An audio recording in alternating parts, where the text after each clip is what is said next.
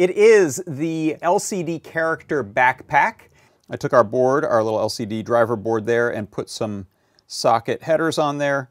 Can plug that in like that. Okay, so here you can see I've got four lines on this one. I've got some blinking cursor, which is part of the library.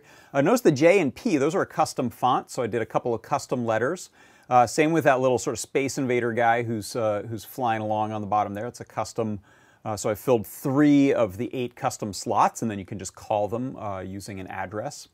Uh, here you can also see I'm doing some of the sort of automated scrolling, moving here I'm using the little move right command, and then I'll, I'll run this uh, set of text and then use scroll to kind of move that off to the side and rearrange that. That's my product pick of the week this week. It is the LCD character backpack with I squared C and SPI and STEMMA QT connectors.